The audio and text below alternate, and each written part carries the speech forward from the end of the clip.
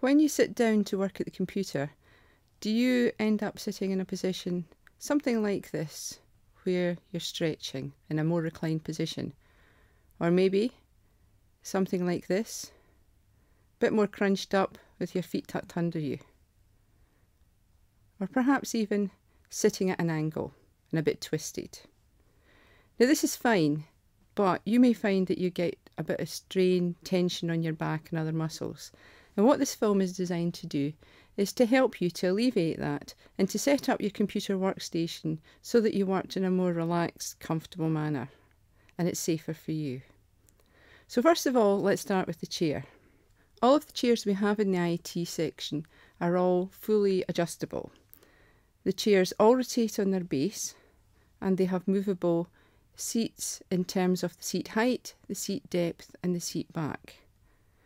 So when you go to set up your computer, you need to think about how you're sitting first of all. And let's look at the seat height first of all. The seat height is adjusted with the clip on the right hand side here. And by taking your weight off the seat, you can see that the chair will lift up, or with your weight on it, if you release it, you'll slip back down again. Okay? So it's just trying to find out what's a good height for you. The next thing to consider is the seat depth. The seats slide back and forward and there's a button again on the right hand side here and if you press that then you can pull or slide the seat forward or back and you see it's a little bit sticky and you maybe need somebody to help you here. The seat back is also adjustable and it's in clicks which move up the way so you've got to click it into position and then it will slide back down to its base. So click it up and then back down again. And you can do this when you're actually sitting in the chair itself. There's also another switch on the other side that allows you to change the reclining position of the back. What you've got to do is think about your body and how it fits into that chair and make it comfortable for you. So let's get you set up at the desk. So pull yourself in. First thing we've got to think about is your height. And it doesn't matter where your feet are just now. The important thing to think about is actually where your arms are to start with. What you need to do is adjust the height of the chair so that your forearms are approximately parallel and that your elbows are at a 90 degree bend so that you're in a relaxed position with your arms. It's important that you think about your hands so that you've not got an excessive movement of up and down with the wrists. Then we can think about the seat depth. If the back of the seat is impinging on your knee, it's going to cause a lot of pressure. And the recommendation is that you have approximately three finger widths between the back of your knee and the front of the seat. If you haven't got a decent enough gap there, then adjust the seat. Next thing you've got to think about then is the height of the back of the chair. And again, change the position so that you've got good lumbar support. Support at your shoulders. If you want a bit of a recline, fine, but don't have it too excessive. Next, we need to think about the position of your feet. If your feet are flat on the floor, then that's fine. But if you find that your legs are a bit shorter and you're dangling there, then you need to bridge that gap. And this is where you have to think about some kind of footrest. And this is where you can improvise using your bag or a backpack, something that you can put your feet onto. The important thing is to note that your knees should not be higher than your hips. And again, that will allow your legs to be relaxed. You need to think about the position of the screen, and obviously this will depend on your eyesight. You want to be able to see the screen, but a good approximation is to have the screen positioned an arm's distance away from you.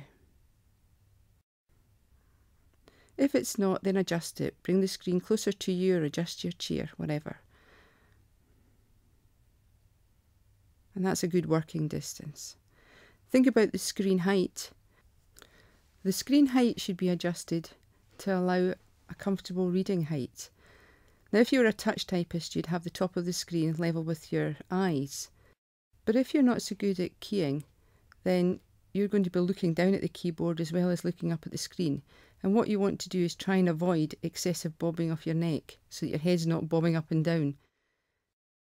So there you've got to think about adjusting the height. Probably bring it down a bit lower. Make it into a position that's comfortable for you. Also think about the angle of the screen. There's a tilt there. So again, make it comfortable so that you can see the screen. And it's also good to try and avoid excessive glare on the screen whilst you're actually typing.